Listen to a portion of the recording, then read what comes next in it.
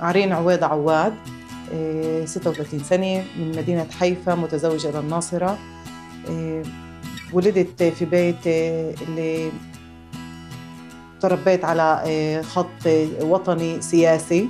هذا ما دفعني لهذا الاتجاه. انضميت في المرحلة الثانوية للشبيبة الشيوعية وهناك بدأت أتعرف على منظماتها ومن ضمنها حركة النساء الديمقراطيات. ومن خلال انضمامي لحركة النساء الديمقراطيات بدأت عدة دورات اللي تقوية للنساء. ومن هناك اخترقت صفوف حركة النساء. كوني أول شيء من بيت اللي هو دعم النساء وأعطى فرصة للنساء بأنه تطلع وتطور نفسها. فكنت أفكر بأنه المجتمع كله بنفس البيئة عايش اللي أنا عايشة فيها.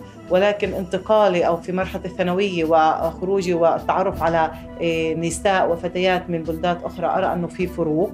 ما كانت القرى صغيرة العائلات تنتين أو ثلاثة كبيرة وفي ترابط عائلي أكثر طبعا الأعداد غاد موجودة أكثر في حرية للفتاة ولكن بحدود.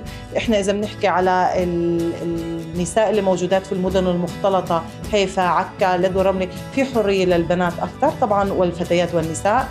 رغم أنه بعد في برضه هناك نساء اللي بتعاني.